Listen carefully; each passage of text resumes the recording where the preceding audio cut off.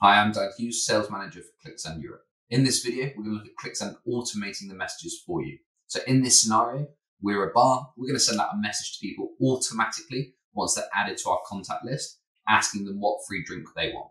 So initially, I've set up a master list. This is where I'm going to add new contacts to.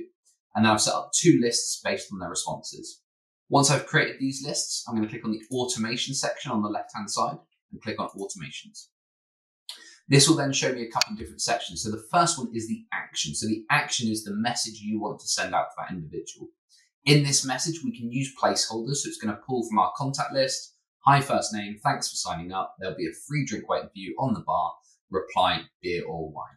So I've created that action, but then I need to set a contacts based schedule to send it out. So one minute after that contact is added to our bar automation contact list, it's going to send them that message out. From here, we then need to set up an inbound rule. So once they reply, what do we do with that message? So clicking in the top right corner, message settings. I'm then going to look at my inbound rules and I've got one here called beer contact move or wine contact move. So I'm going to click on the beer one. If somebody replies and the message contains the word beer, I want to move that contact to the beer responses contact list.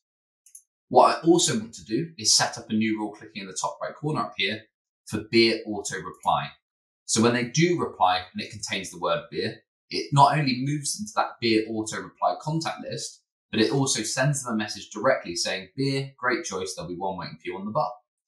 And this is how we then manage it. So once I then look back at my contacts list once again, I'll be able to see all the contacts that have moved from my initial contact list into the respective responses contact list where I can then click, export that data, and then make sure that all the drinks are lined up on the bar for those individuals.